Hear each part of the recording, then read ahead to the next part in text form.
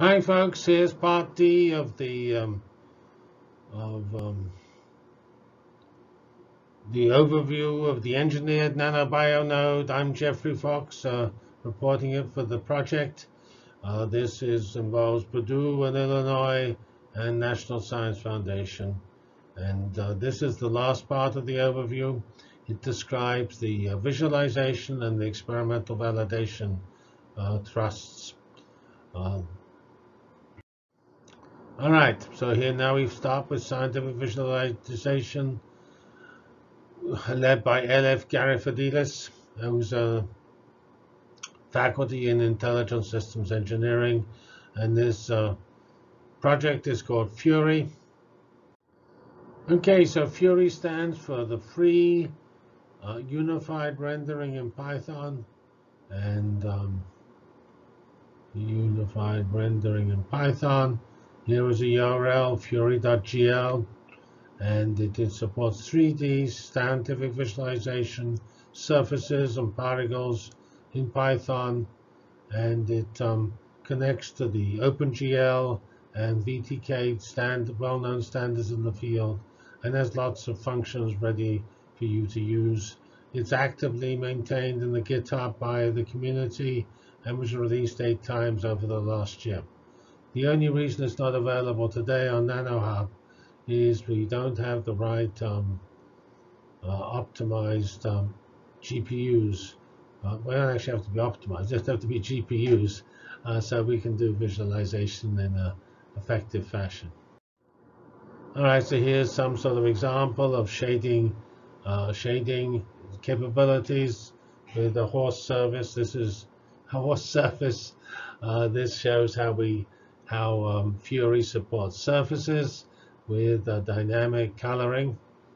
And uh, you can, of course, put some more complex structure there. And here is, um, if you want to, say, study optimization, you can get all sorts of peculiar 3D functions where you want to try to find the um, right minima. And of course, these functions here have lots and lots of false minima. Some are more false than others and or some of them more true than others. And uh, you want to see how your famous, uh, your favorite uh, local minima avoiding strategy or your favorite genetic algorithm, the bounce between uh, minima uh, behaves, then you can actually um, uh, visualize it uh, and these surfaces and see how it goes. Um, so this is um, hard to optimize functions, and you can build very powerful visualizations there. Here is um, particle visualization or networks of various shapes. Some of the ones in the middle by uh, student Javier is uh, very nicely dynamic. and and I say these can do an order of magnitude more uh, particles than the typical systems, which usually get stuck around half a million particles. Uh, here we have uh, cancer simulations we can visualize, and uh, we can, here's just a, a, cancer simulation captured at the initial and later stage using the work of uh, a macro unit led by Paul Macklin. Uh, the last part of this whole um, um, discussion, but certainly not the least, because there's no point in doing any of this unless it actually has something to do with the real world and Mother Nature. And Trevor Douglas is representing Mother Nature and working on aspects of experimental validation.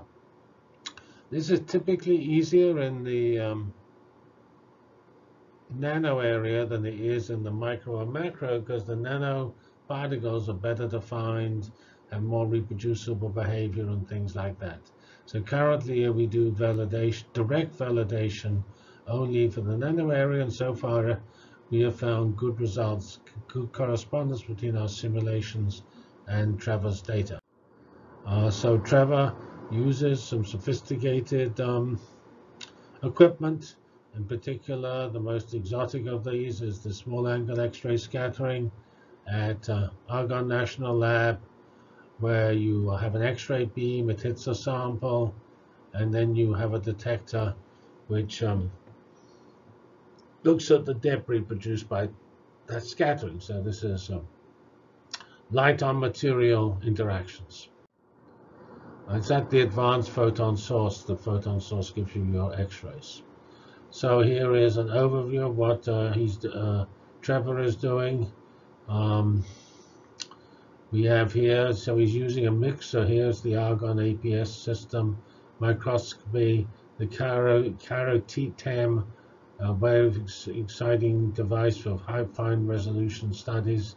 There's one of those at IU, but also the, again the APS system SAXS. And um, here we just do uh, uh, less exotic uh, measurements, and they're comparing with the nanoparticle self-assembly uh, the ions and nano confinement, and the nano binding application, three of uh, Vikram's applications.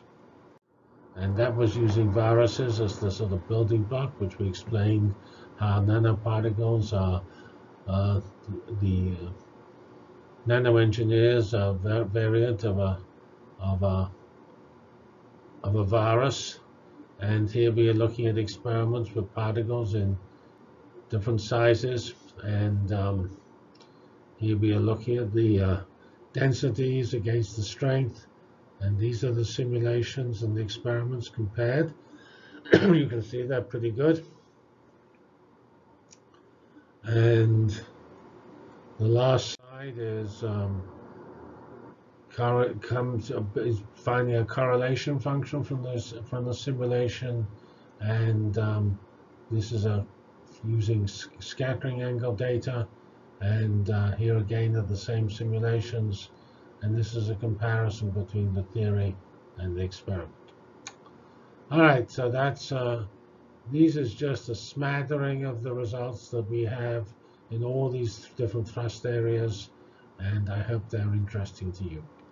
And uh, we hope to continue this exciting work and important work and contribute to the nanobio community.